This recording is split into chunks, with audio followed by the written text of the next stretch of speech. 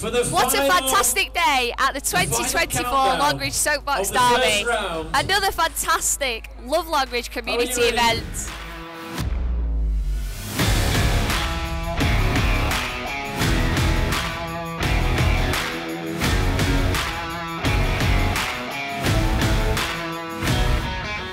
We have handed out 500 specially made flags for the event, with spectators using them to cheer on the carts during the racing. We also gave people a chance to win a bottle of champagne, which went down very well. I want to win the champagne! Woo! It has been great to see so many people visiting the town and supporting what has been a really fun event. We have also had the opportunity to meet and chat with lots of people about selling and letting their properties in Longridge.